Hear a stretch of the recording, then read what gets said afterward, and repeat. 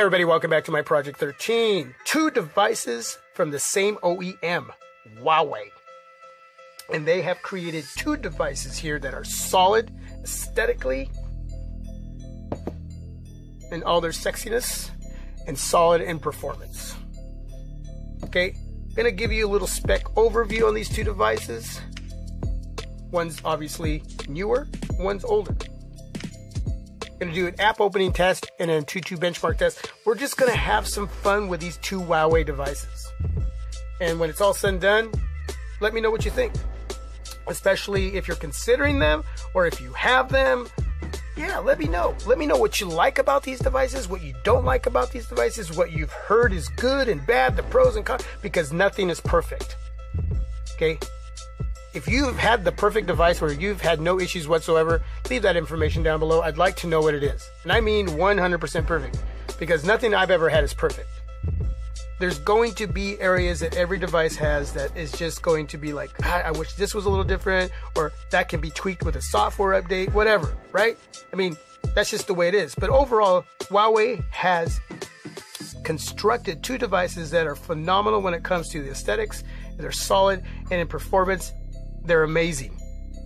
The Huawei Nexus 6P is a stock Android device running 7.1.1 Android Nougat, and you have the Huawei Mate 9 running EMUI 5.0 over the top of Android Nougat 7.0, and they have trimmed, slimmed down EMUI to allow Nougat to do its thing. And they're working together and it's been an amazing time having this device as my daily driver.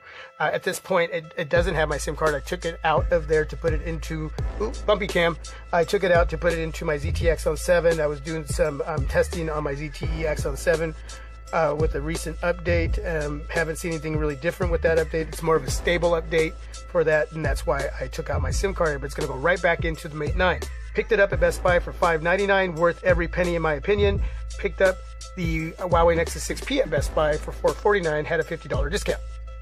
So, 5.7 inch AMOLED display. That's a 2K display. 12 megapixel camera on the back. Got 3 gigs of RAM. It's got a Qualcomm Snapdragon 810. Again, 32 gigs of internal storage, 3450 milliamp battery, and it has been efficient and sufficient for me during the time that I've had this device. Okay, the Huawei Mate 9 5.9 inch IPS LCD display that has been done right. This display is phenomenally awesome to visually look at. I'm not kidding you. It's one of the best ever IPS displays I've ever had in hand. 20 megapixel camera on the back.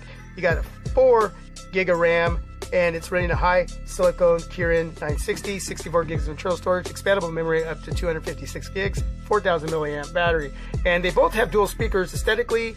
The 6P is on the front, and on the Huawei Mate 9, you have it doubled up as an earpiece, and you have it down below here on the right hand side of the device. Both have USB Type C, uh, both have front facing cameras.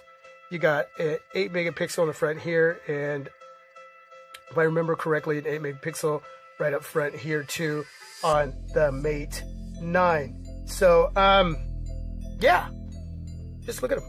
Sexy. Fingerprint sensors as well. Optical image stabilization. Don't have that over here. Dual flash, laser autofocus. Love these dual cameras. 20 and 12 megapixel. Okay. But both phenomenal in their own right.